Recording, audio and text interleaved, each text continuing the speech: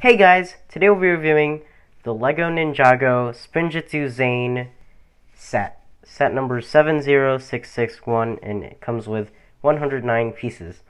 So let's go ahead and somehow open up this interestingly shaped package. I think I need scissors for this.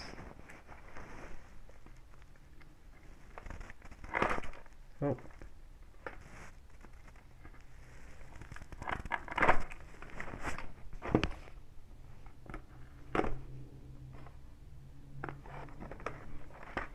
Here is the set all built up. First, let's take a look at the minifigure. Here is Zane, and he's a pretty cool minifigure. He has a sword, which is pretty common, and um, the torso printing right there. I really like that with the dragon going across. There's also some really good leg printing right there, and even down to his feet. And he also has some back printing that's his alternate face. He's smiling. The other one is angry. And also, this is a pretty cool mask as well. Before I get on to the other builds, first let's take a look at the actual spinner itself. Uh, it's two pieces, the actual spinner and the base, so that it can actually spin. And I really like the detailing on this, the translucent light blue with the white molded in there. And you can spin it. And yeah and comparing it to the old spinners this is one of the older or one of the first uh, Ninjago spinners. It was flat and it spins. This is a lot lighter since this has like metal in it or something. I'm not sure. But you could add things on the bottom and on the top. And this is just um, a little add-on thing. So that was the old spinner.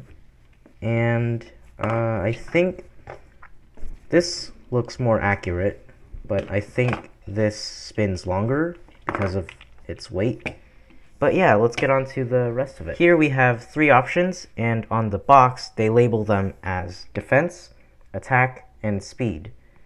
So uh, let's see if they actually do anything. So let's start with the smallest speed. And the reason why they have a hole there is so that you can stand up the spinner because it can't stand on its own.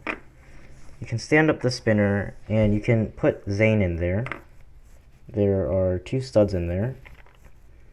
You can put him in with the sword or without the sword, uh, depending on what you prefer. I'm going to put him in without the sword. And then we just take these things off of these bars and attach them to the spinner. So, let's put them on. And you can also angle them in any way. And then you just spin it. So yeah, it does look a bit Let's try faster. that again. Yeah, I think it's faster. Next up, we have attack.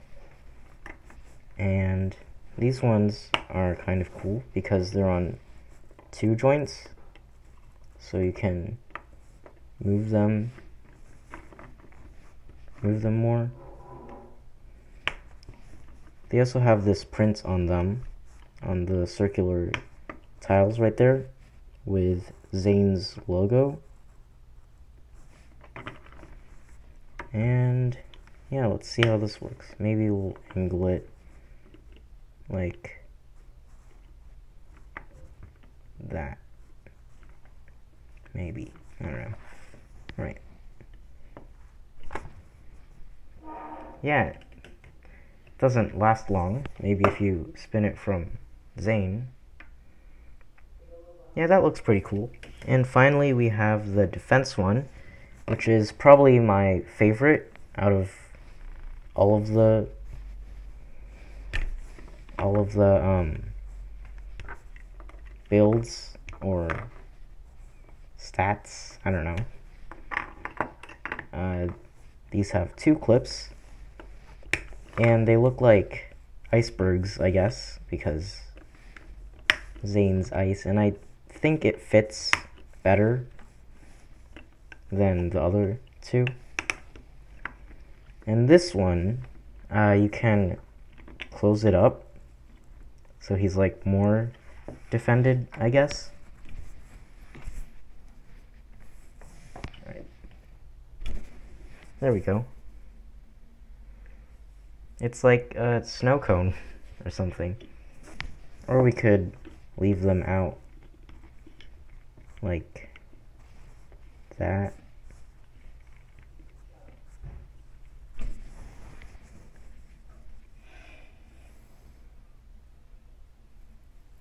That looks cool. For the instructions here, we have Zane at the top, because this is Zane's thing.